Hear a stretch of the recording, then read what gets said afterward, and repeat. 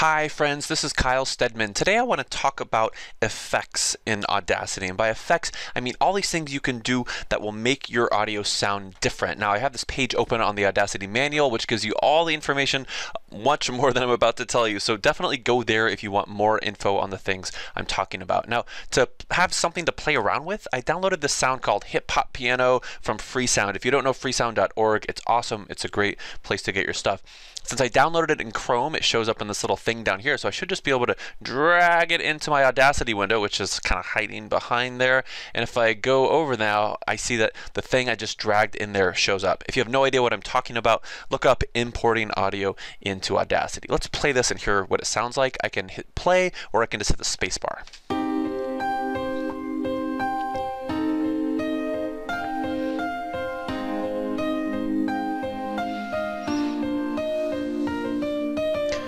You can almost hear that the beat is about to come, right? Well, that's the 11 seconds that I want to play with today in the video. And the things I want to look at are under this effect menu. So if I have audio and I want to do something to it, that's always the first place I look. I'm not going to go into all of these, just the ones that I find myself using the most often as someone who occasionally makes podcast audio essays, that sort of thing.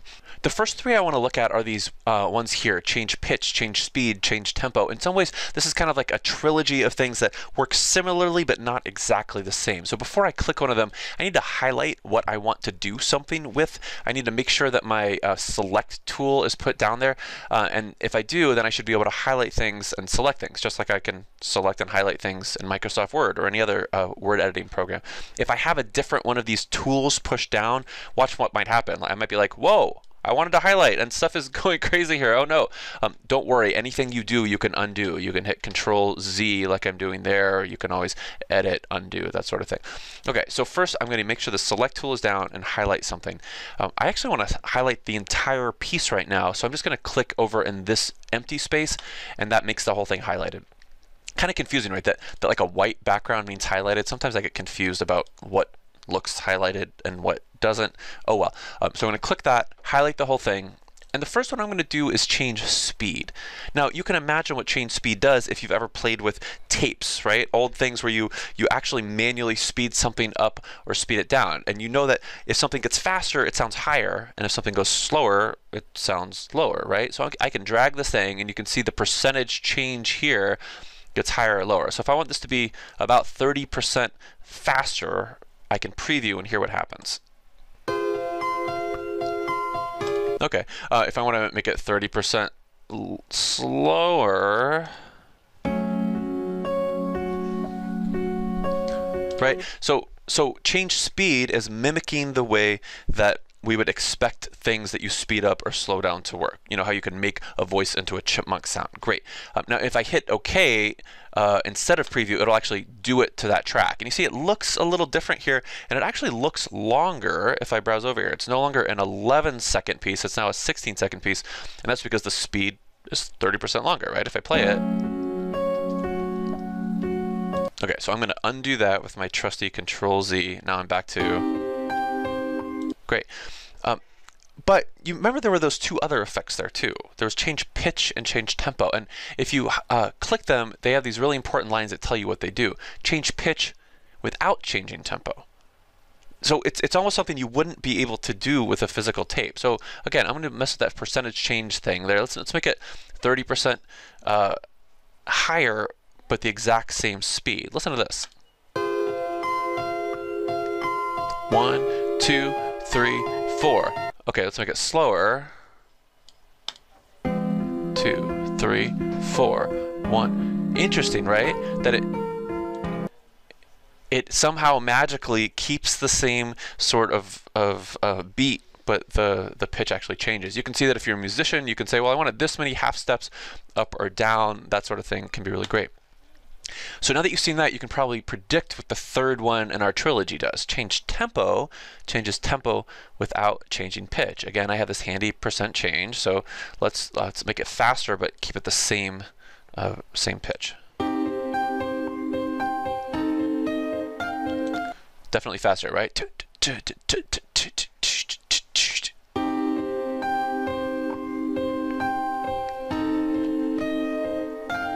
You might also be able to hear a little bit of distortion. You can only mess with this so much before it's audible, before there's little um, audible clicks happening there. But again, those those three all go together. Sweet, look at you learning. You're doing all kinds of great things. Um, I should be back to my normal one here because I, I just hit cancel. I didn't um, actually make the change happen. Well, let's highlight the whole thing again and see what's next. The next two ways that I sometimes want to affect my sound is with echo and reverb, and I sometimes forget what those mean and what they do. Uh, so the the way I think of echo is it, it actually literally repeats the sound like echo, echo, echo, echo. Reverb will more like make it sound like I'm in a bigger room, you know, with like kind of like a a warm bigness to my voice. A warm bigness? I don't know, whatever whatever you want to do. Um, but there's a trick to using these that it took me a while to learn with Audacity. So for this, I actually want to um, go to the end of my project a little bit. I'm going to zoom in a bit using the zoom in. Um, do, do, you know you can also like hold the control button and like zoom in, zoom out with your with your rolly ball on your mouse? I just I just love that. But I'm just going to go to this, this last bit here. Um, another interesting thing in Audacity, if you don't know, is if, if I want to play from a certain place, um, I can just click this top bar. So say I just want to hear that last bit. I can click here. So let's say I want to add some echo or some reverb just to that part. So I'm just going to highlight the part that I want. Uh, and first I'm going to play with echo. So say I just want to hear some degree of like echoiness in there. Now, it's piano music, so I don't know how much you'll be able to hear it, but let's just hit OK and see what happens. I'll hit the space bar to play it. Okay, there there was some echoiness there, right? Let, us hear it one more time.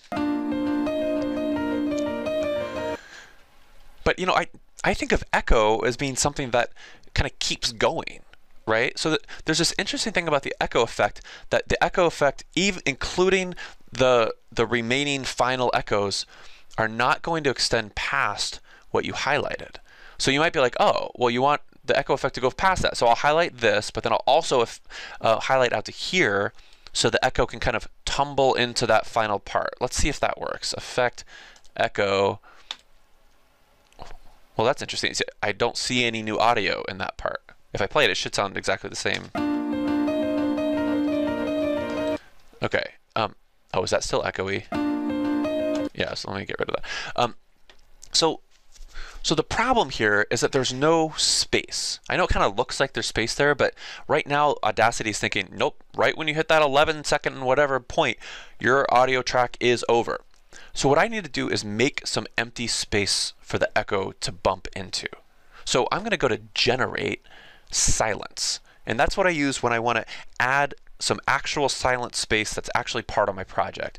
Um, so for instance, if I do this and I choose zero hours, zero minutes, five seconds, it's kind of a confusing looking thing, right? But this, this means five seconds. I hit OK. Wherever I had clicked, it's going to add five seconds right to that part. Now I can do this wherever. You know, I could I can click here and be like, hey, generate five seconds right there as well. You know, I, I can make that happen wherever I clicked last using the select tool. I'm going to undo that though. So now, if I exported this project, my project would now be 16 and something seconds, not just 5 and something seconds. Uh, I'm sorry, not just 11 and something seconds. So, so watch this trick now. If I, if I highlight this, and I highlight the space I want the echoes to tumble into, and now I do echo, watch what happens. You can see the sound now has a place to go. So let's hear that.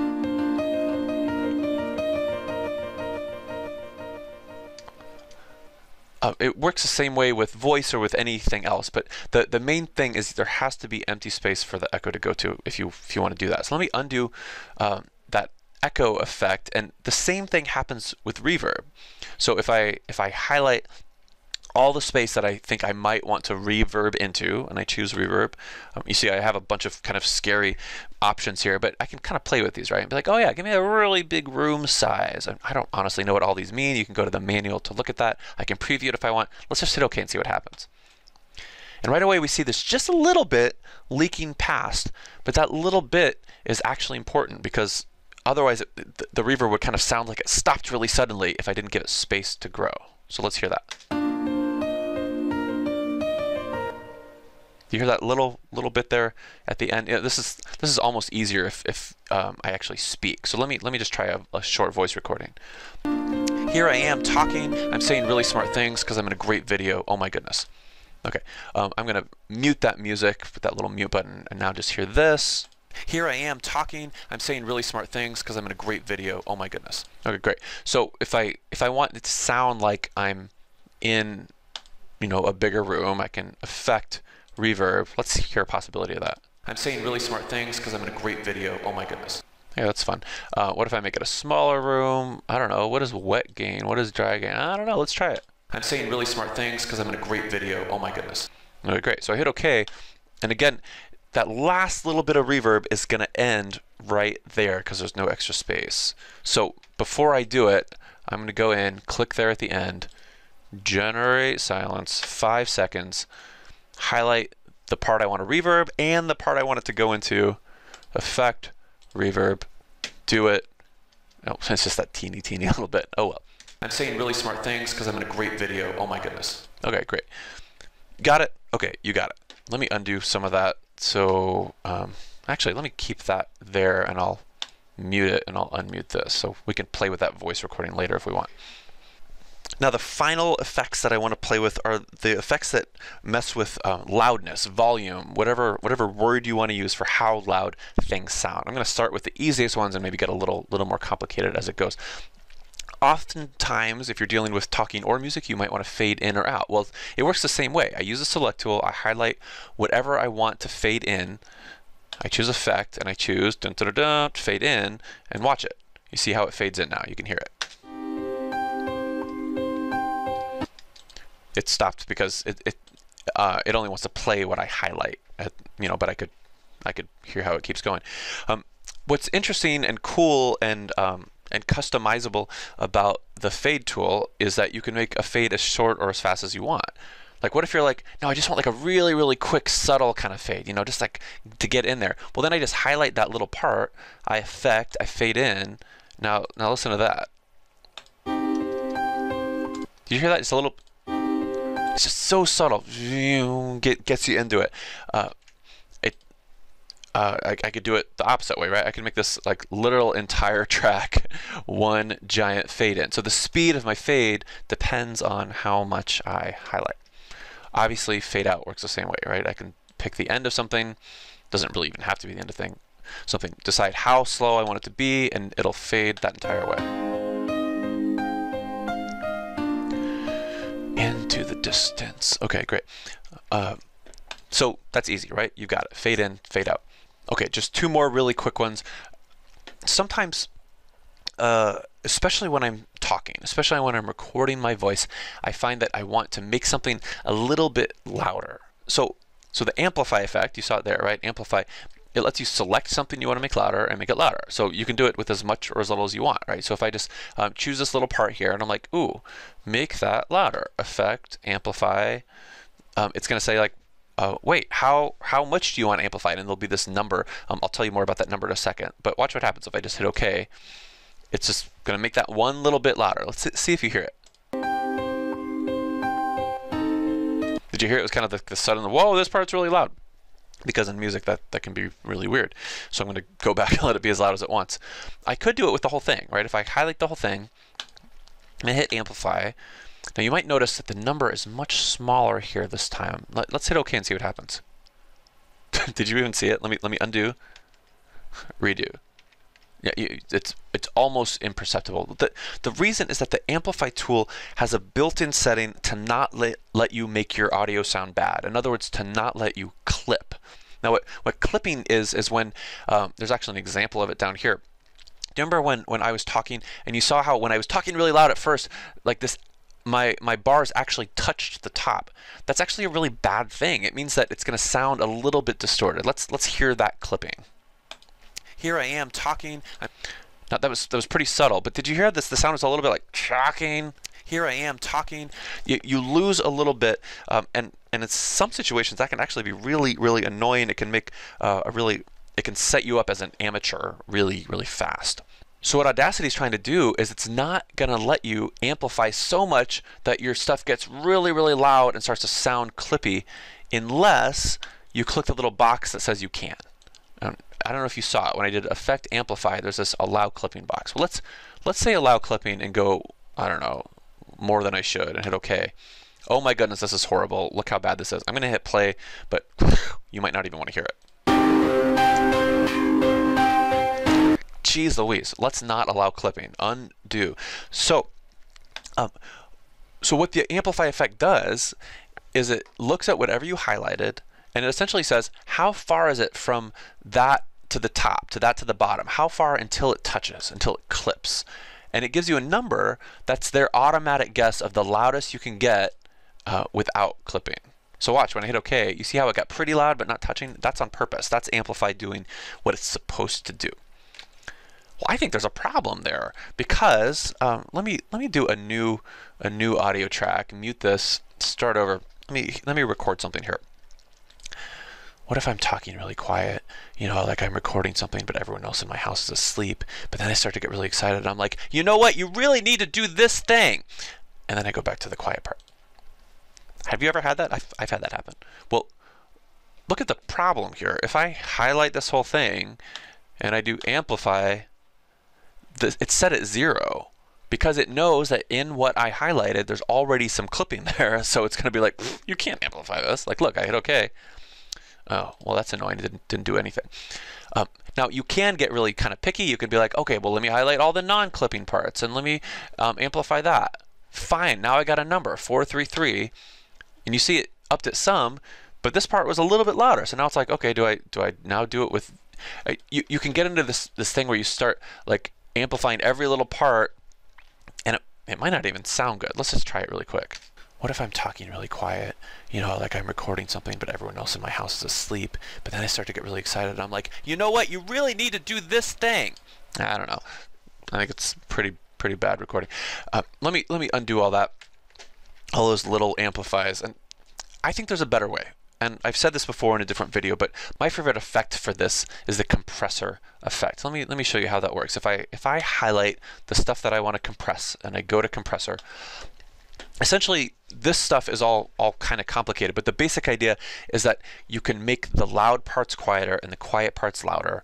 And if you want more information on those settings, you can um, go here and you know read things about the compressor tool. Uh, but I'm just going to hit OK and watch what happens. Do you see how visually you can kind of see a little bit of volume leveling happened? And you know that because the quiet parts are a little bigger and the big parts are a little louder. This is actually something you can repeat. I don't know, maybe this is a bad idea as, a, as an amateur who doesn't know what I'm talking about. I'm just going to hit it again. And sometimes that even like makes it a little bit more even. Let me hit play. What if I'm talking really quiet? You know, like I'm recording something, but everyone else in my house is asleep. But then I start to get really excited. I'm like, you know what? You really need to do this thing. Okay, that like that was clear still that was still clearly louder, uh, but it wasn't like as louder as before. The difference wasn't so much. Now, of course, you don't want to do this if you're editing music where the loud and quiet really matters. Like there can be a whole lot of reasons why you don't want to do this. If you ever Google volume wars, I mean, for goodness sakes, you'll learn a loudness war. You, you can all learn all sorts of things about about how this has been a problem in audio recording. And yet, when I'm recording my voice, I think it makes it sound a little bit better that's really all I want to share with you today. There are tons more effects you can do. They're fun and you can play with them. What I would say is just like highlight, go to the effect and see what happens. Wah, there's a wah. What is that going to do? I have no idea. What if I'm talking really quiet? Crazy, huh?